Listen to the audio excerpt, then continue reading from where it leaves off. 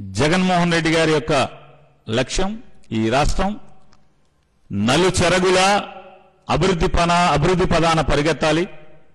అందుకోసమే అమరావతిలో శాసన రాజధాని విశాఖపట్నంలో పరిపాలనా రాజధాని రాయలసీమ కర్నూలులో న్యాయపరమైన రాజధాని ఉండాలనేటువంటి లక్ష్యం మాకుంది. ఖచ్చితంగా ఆ లక్ష్యం దిశగా ఎప్పటికైనా మా సంకల్పాన్ని నెరవేర్చుకుంటానికి ప్రయత్నం చేస్తాం. మీరు నిజంగా ఇది అందరి రాజధాని అంటే కనుక ఆ రకంగా మీరు ఒక్క అడుగన్నా వేశారా? ఈ రకంగా విషం చిమ్ముతూ మా దొడ్లోకి ఎవడూ రాకూడదు.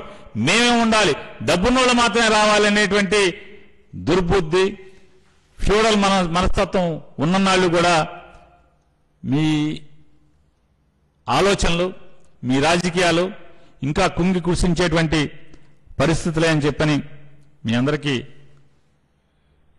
మీ ద్వారా మీడియా ద్వారా చంద్రబాబుకి దుస్తు చతుష్టయానికి తెలియజెప్తూ